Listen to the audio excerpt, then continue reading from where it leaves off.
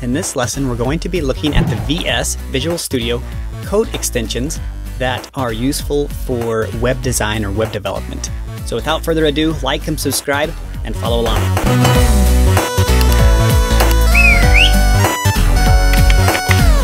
Now you can install extensions in VS Code by just going to the Extensions tab and you just simply search for these in your marketplace. So for example, the first one we're going to be looking at is this one called Auto Rename Tag.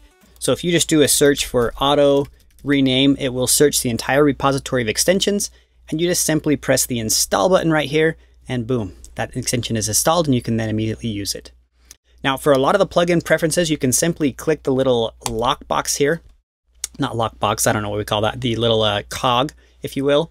And you can see that there's often extension settings. So if you click on configure extension settings, this typically takes you to a page where you can go ahead and edit and update any settings to configure the various plugins. Now this extension, what this extension does, the auto rename tag extension, is it automatically will rename a tag if you change either the first or last tag. So let's look here at a sample here. Now I'm going to open up my little theme here and open up my index.html page. And for example, see here I have the unordered list tag. So if I just change this to, let's say, an ordered list, notice that it will automatically update the ending tag. And same thing, if I'm down at the ending and I change this to a div, you can see right up here that automatically updates the beginning tag. That's something that I find myself doing quite frequently. And if you don't have that installed, you got to change here. Remember to come down, change here. So that's basically what this tag does in a nutshell. All right, the second extension here is what we call Beautify. So this extension will basically just reformat, a reformatting extension for your HTML, CSS, JavaScript.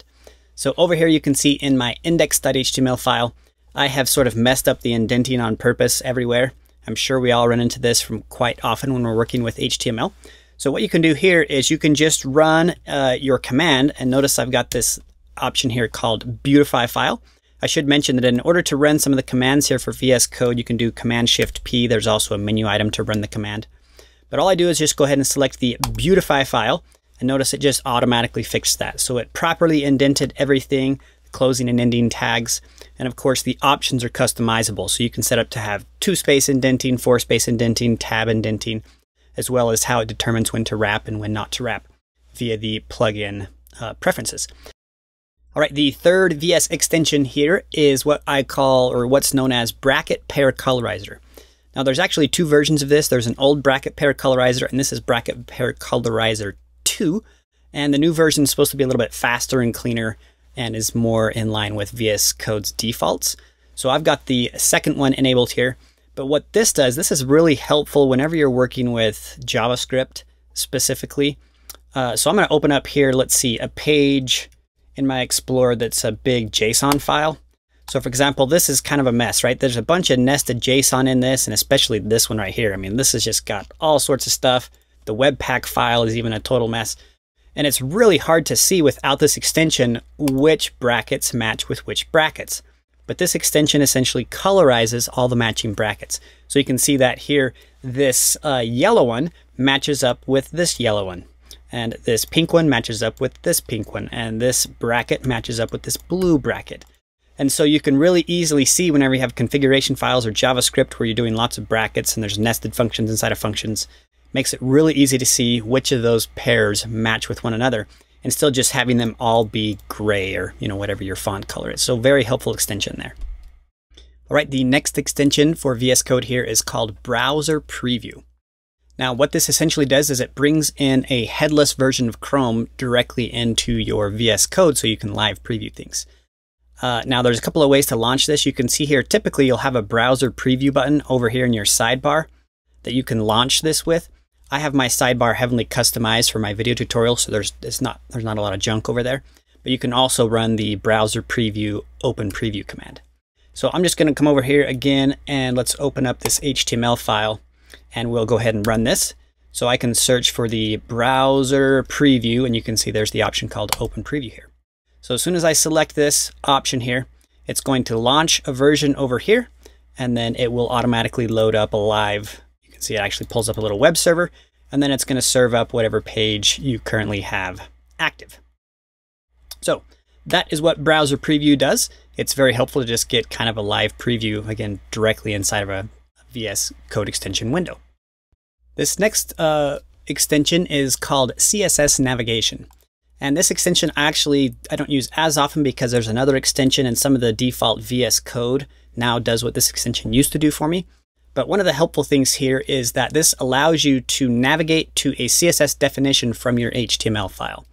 So for example, if I'm over here in my HTML and I have a class, a class like app-nav, you can right click here and you can say go to definition.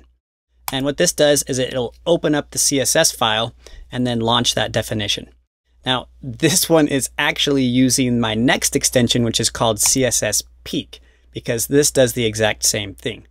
So CSS Peek, uh, these kind of conflict, like I said, but the CSS Peek, which is the one I probably recommend over the other one, is the same sort of thing. So you can go to the definition or go to the symbol in your workspace. So you just right click and say go to definition.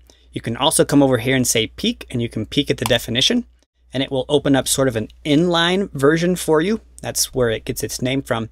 This is very similar brackets, Adobe's brackets, the code editor called brackets, this free and open source kind of uh, initially had this several years ago, and many people have copied it. Um, but I think even Dreamweaver now has this feature. Uh, but that's how we can do with Peek. You just peek on that definition, and it'll just fly it open inline, which is, and you can just you can actually live edit this. You can change anything and just save right here. So that's kind of a helpful little feature as well.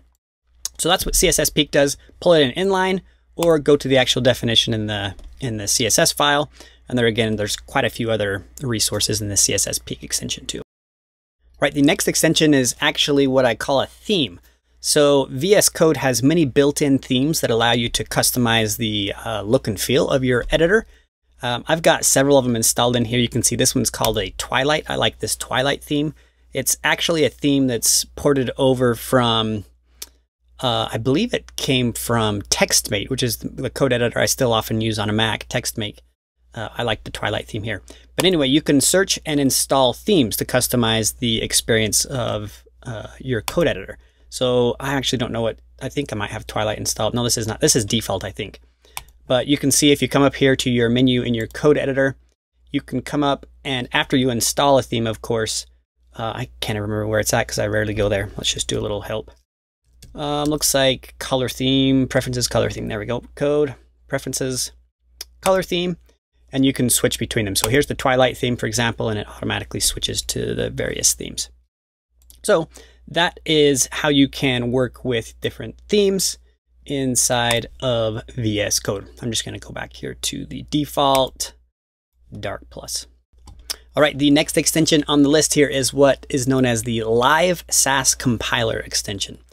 Now, if you work with CSS a lot, you often get to the point to where you'll sort of graduate to what's known as a CSS preprocessor, preprocessor, whether that's less or Sass or Stylus or Post CSS. There's all sorts of them out there. Uh, but I, I particularly use Sass, and so this is a compiler that will automatically compile your Sass files. So you can see here, I'm not going to show an example of this, but basically it allows you to just live edit your SCSS files. So you can change variable names, change any of the functions, and as soon as you save, it will automatically compile down the Sass into a CSS file. And then, of course, you can have your browser refresh that file to see those changes immediately. So that is what uh, the live Sass compiler does for you. There's quite a, quite a few uh, configuration settings in this as well. I should mention one more thing before I end on this. Uh, if you have the live browser reload, you can actually preview those live like I showed you with the browser preview as well. So that is helpful. Right, next extension is the live server extension. So this extension is kind of like the live preview, except it has uh, quite a bit more customization and options than the other server does. So this kind of serves the same purpose. It will launch a development server directly inside. Um, the only difference here, I guess I should mention, is that Live Server just uses whatever browser you want. So I have Firefox, Chrome, Safari whatever you want, will it will launch a web server in that browser. So it doesn't actually put it in a window embedded inside of VS Code, which the live preview one does. So in this one, it just launches your development server.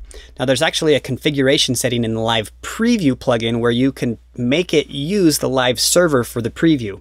So you can actually kind of tie those two plugins together and make it work like that.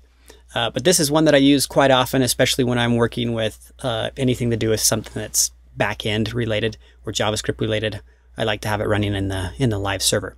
So I get a lot of questions in my videos, which are, you know, how do I make it so when I automatically save, it automatically shows the preview? The answer is this plugin. The live server plugin will do that for you. All right, the next plugin, we're actually going to do two here in this little segment because they kind of work hand in hand. This plugin is called the Markdown All-in-One plugin. And what this enables their, you to do is just have shortcuts for working with Markdown files. So Markdown is sort of a, uh, a way you can write HTML it's kind of like Sass for CSS, Markdown for HTML, if you will. Uh, but anyway, this plugin has several features for working with Markdown. So often README files are written in Markdown format. And what I really like about this is if you come into the preferences here, I'm going to show you in this one. I'll come into the, uh, let's see, we'll configure the extension settings. There's an option in here that is, I think I already have it toggled on right here. So it's called Auto Show Preview to the Side. And this is really helpful. So for example, I'm going to open up a markdown file here. So I've got a little readme. So this is a markdown file right here. And what's nice is that it shows you the preview of what that renders out in HTML over to the right. So, you know, if I just add a, another couple of these, it automatically updates that. So that goes from a header one to a header two to a header three. And so anyway, you get the automatic preview as you type. It's just live, right? It just automatically updates over there. So very, very helpful. Um, I, I struggle with remembering Markdown, so it's nice for me to have the visual aspect. So in conjunction with this, I have a plugin called Markdown Lint. And this is a linter plugin for Markdown. A linter means it reads your code and tells you if there's errors with your code. So for example, if I come over to this Markdown file here, and I, let's say I put an exclamation mark right here, notice it's going to automatically highlight that and it gives me this little warning here. It's telling me, hey, this is not valid markdown code. So you can click on this and it actually has an automatic fixer. So I can just say fix it and boom, it'll automatically fix that so that it is valid markdown. And so very helpful for when you're just, you know, cruising through writing markdown, it'll highlight if you have an error. So that plugin with the other one is really nice when you're working with markdown. I've got a couple other plugins here that are for working with PHP, but of course, if you're programming, you're going to install some plugins that are dependent on your specific programming language. The last one I'm going to cover in this tutorial is what I call, or I keep saying what I call, what they call, what the author called VS Code icons. So this is a Visual Studio extension that automatically adds icons to your sidebar. So if we come over here and look at my Explorer, you'll notice that in my sidebar, each of my files has a different icon. So notice that one has a key because it's a license file. This one has some brackets because it's a JSON file, info for README. This is a Webpack file, HTML, uh, CSS. So all of the various files and folders get their own uh, icons instead of just default, you know, arrows. So that's kind of a really neat, neat little one. You can see here all the different ways you can set this up and configure it as well when you have all these icons enabled. But that's kind of a helpful icon, so you can quickly just glance over there and see the different uh, icons. So that is the VS Code icons. So anyway, that's kind of the top extensions that I use in Visual Studio Code. Comment down below if you have any extra extensions that you use or some of your favorite things. Don't forget to like, subscribe, thumbs up, share, all that good stuff. And we will see you in the next one.